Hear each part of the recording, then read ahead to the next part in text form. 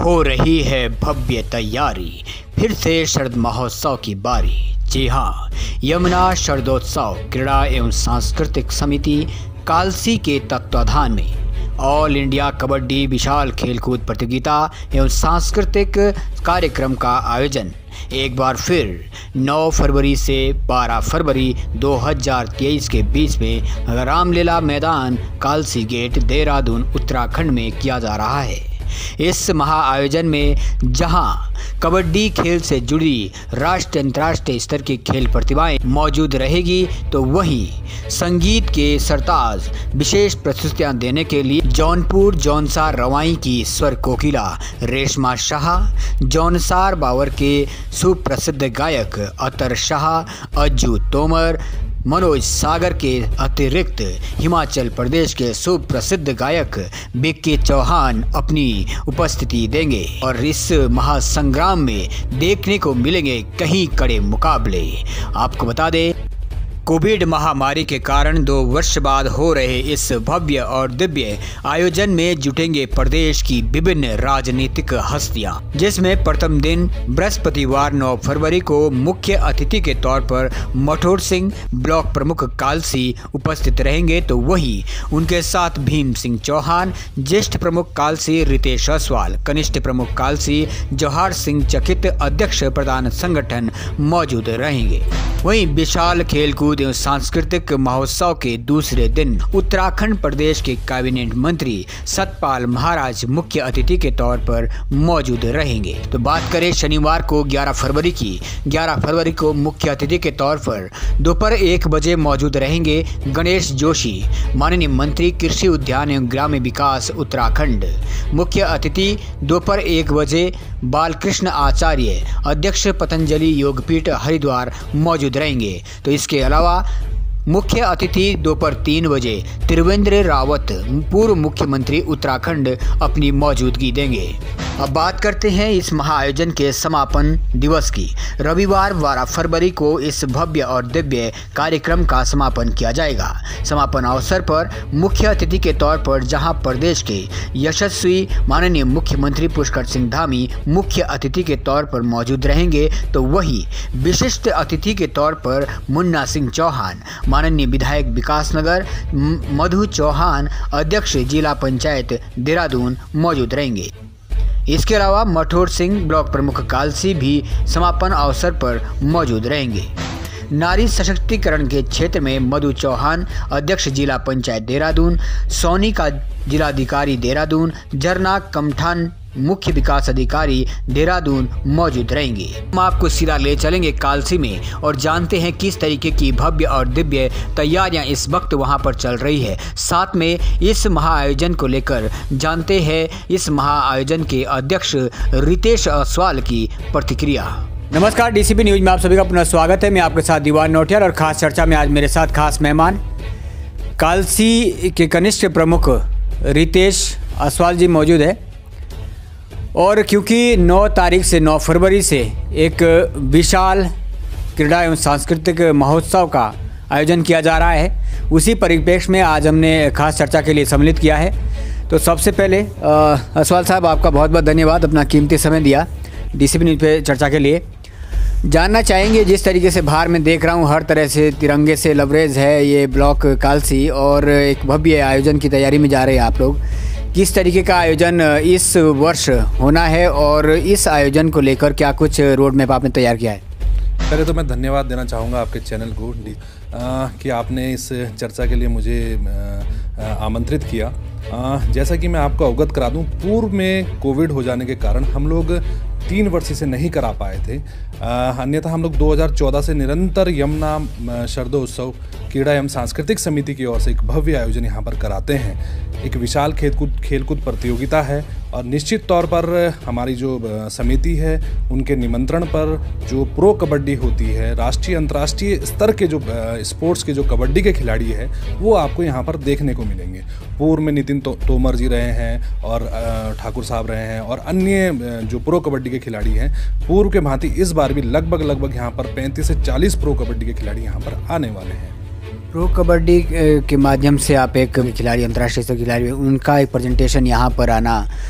क्या oswal साहब, उस माध्यम से क्षेत्र की जो युवा प्रतिभाएँ हैं खेल के क्षेत्र में, उसको उभारने का कहीं ना कहीं ये प्रयास हम समझ सकते हैं, और भविष्य में इसका उन युवा पीढ़ी के लिए क्या पॉजिटिव रिस्पॉन्स सामने आ सकता है? देखिए, यदि एक्सपर्ट जो हमारे क्षेत्र में प्रो कबड्डी के आएँगे, उनके जो प्रदर्शन है, उनका व्यवहार है, उनके खेल खेल की जो उपयोगिता है, जो यहाँ का युवा है, उसे देखता है, उसे सीखता है। पूर्व में भी हमारे कई जो युवा साथी हैं, मैं एक फॉर एग्जांपल आपको एक अमन चौहान करके हैं वो अभी उनका सिलेक्शन आई में हुआ है तो कहीं ना कहीं किसी न किसी रूप में उनका जो कबड्डी के प्रति जो उनका प्रेम था और उनकी जो कार्यकुशलता थी, उसी के आधार पर उसका उनको लाभ भी मिला है। और एक मैसेज और भी देना चाहते हैं हम लोग स्पोर्ट्स के माध्यम से कि जो जो हमारा युवा है, जो नशे की तरफ़ को जो अट्रैक्ट हो रहा है, वो यदि अपना ज़्यादा से ज़्यादा समय स्पोर्ट्स पर लगाता है तो निश्चित तौर पर नशे से दूर रहने का भी काम करेगा।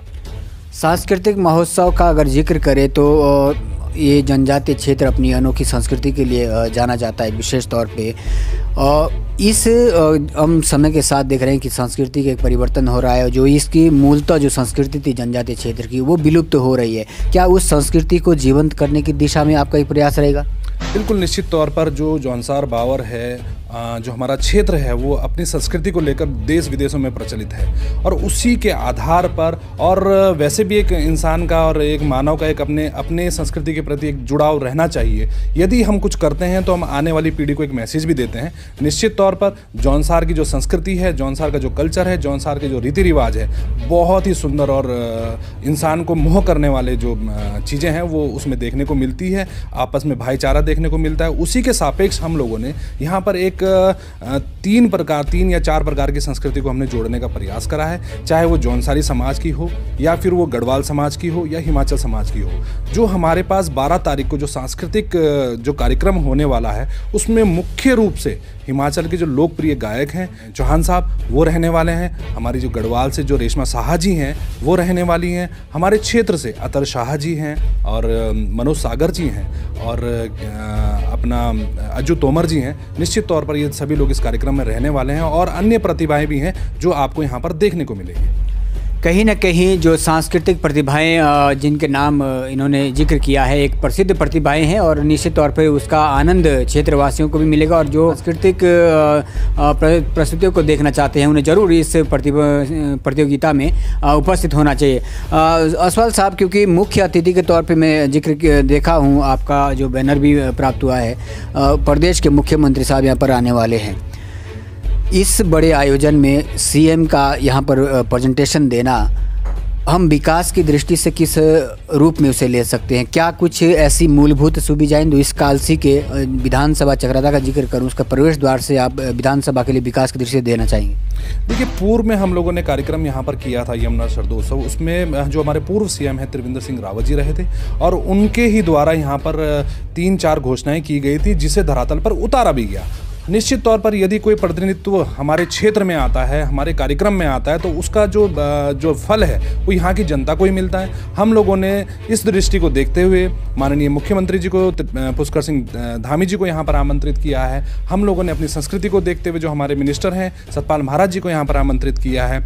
और हमारे जो ग्राम्य मंत्री हैं गणेश जोशी जी हमने उनको भी यहाँ पर आमंत्रित किया है। निश्चित तौर पर जब बड़े नाम रहेंगे तो अपने क्षेत्र में आ, कुछ काम जो यहाँ के लोगों के होंगे समिति ने कुछ चीज़ें डिसाइड की हैं तो हम लोग उनके पटल पर रखेंगे और निश्चित तौर पर उसका जो लाभ होगा वो यहाँ के जनमानस को अवश्य मिलेगा। कहीं ना कहीं क्योंकि मंत्री भी आ रहे हैं मुख्यमंत्री भी आ रहे हैं इसके अलावा तमाम आप कार्यकर्ता लोग यहाँ पर मौजूद रहेंगे। कालसी राजधानी से ज़्यादा दूर नहीं है।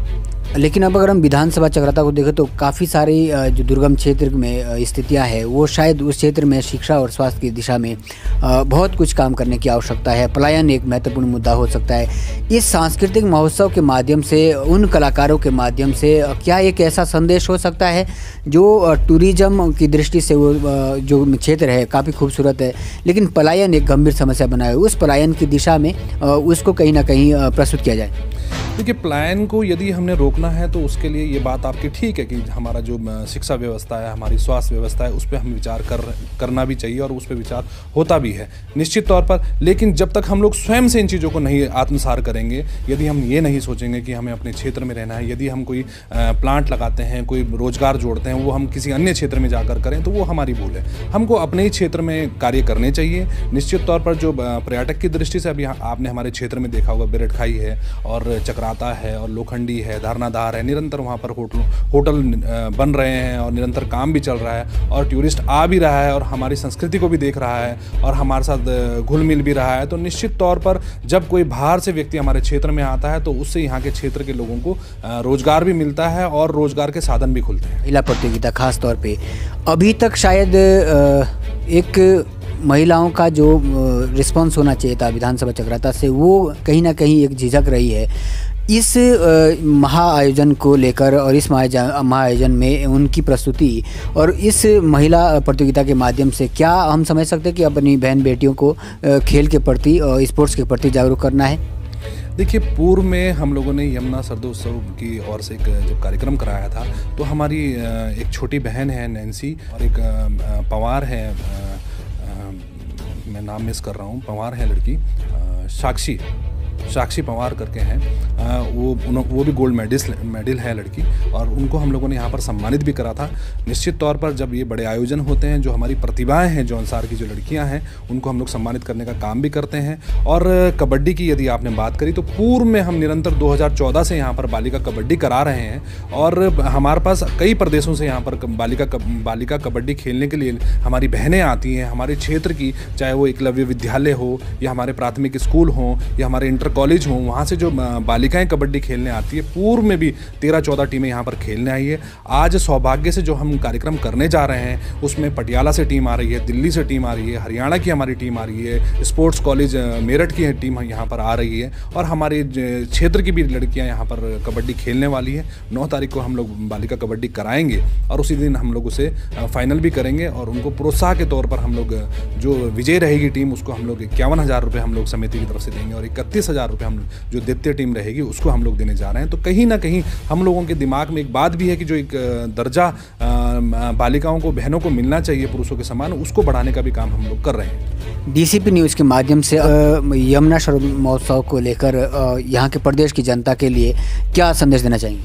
देखिए यमुना सरदोत्सव निरंतर कई वर्षों से अन्य प्रकार के कार्य भी कराता रहा है, चाहे वो रक्तदान का कार्य हो या जमुना सफ़ाई का कार्य हो, निश्चित तौर पर यमुना सरदोत्सव समिति का हमेशा से एक अपनी संस्कृति के प्रति, अपने समाज के प्रति एक जुड़ाव को लेकर रहता है और इसी उद्देश्य के साथ हम लोग एक जो ये कार्यक्रम यहाँ पर कराते हैं और कई लोगों को यहाँ पर आमंत्रित करते हैं। हमारा जो संदेश है वो भाईचारे का संदेश है, अपनी संस्कृति को जोड़े रखने का संदेश है और आने वाले जो क्षेत्र में जो विकास होने हैं उसको देखते हुए एक पटल पर लाने का जो प्रयास प्रयास हमारी समिति करती है तो इसी के आधार पर मैं आपको और आपके चैनल का भी धन्यवाद करूँगा कि आपने हमारे को अपने चैनल पर यहाँ पर आमंत्रित किया और हमारी बात को जनता के बीच में जो रखने का प्रयास करा है निरंतर आप पूर्व में भी कई कार्यक्रमों में हमको सहयोग करते हैं। निश्चित तौर पर आपका जो आपका जो चैनल है वो जनता से जुड़ा हुआ है जनता की बात जनता की बात जो है जन, दूर तक पहुँचाता है और मैं आपके चैनल का भी आभार व्यक्त करूँगा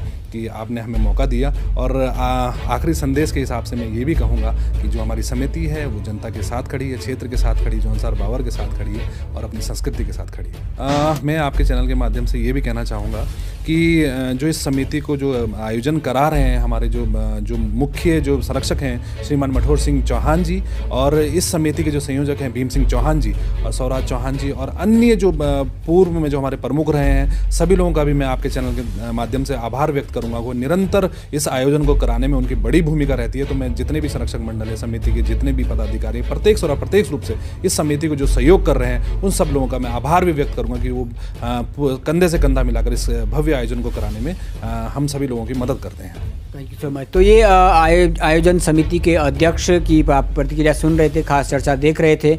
संपूर्ण टीम के सहयोग से ये सफल आयोजन संभव हो पाता है। इतना विशाल आयोजन है और इस आयोजन के माध्यम से क्रीड़ा के क्षेत्र में हो, संस्कृति के क्षेत्र में हो या फिर हम कहें कि आमजन से जुड़ी योजनाओं को विकास के माध्यम से धरातल पर उतारने की दिशा में हो, या फिर कहीं स्पोर्ट्स की दिशा में हर तरह से एक कारगर सिद्ध होने की उम्मीद से इस विशाल आयोजन को कहीं ना कहीं किया जाता है। कोविड के कारण शायद विगत वर्षों में बाधित हुआ था, लेकिन पुनः एक बार फिर भव्य और दिव्य आयोजन के साथ नौ तारीख से 9 फरवरी से ये आयोजन शुरू किया जाएगा और आप तरीके से डेकोरेशन किया गया है। ब्लॉक के भीतर तिरंगे से लवरेज है और एक भव्य जो कहीं ना कहीं इनकी तैयारियाँ चल रही है उस तैयारियों से ही झलकता है कि प्रदेश के मुख्यमंत्री की जब यहाँ उपस्थिति होगी तो कहीं ना कहीं विधानसभा चक्राता के लिए विकास की दृष्टि से भी वो चार चाँद लगाने का काम करेगा। असवाल साहब आपका एक बार पुनः बहुत बहुत धन्यवाद डीसीपी न्यूज़ के लिए अपना समय देने के लिए। Thank you thank you so much thank you so much sir